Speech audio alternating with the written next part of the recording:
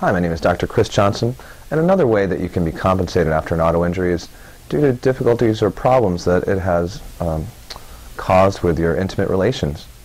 Now, if there's any difficulty that you've noticed, uh, difficulty with performance, if you've noticed that there was difficulty uh, talking, speaking with, having intimate relations with a partner, those things are very important. They're a uh, uh, very basic part of life. And those are also things that are compensable by the auto insurer. So if this has happened to you or someone you know or a member of your family, then call us at 413-737-7787.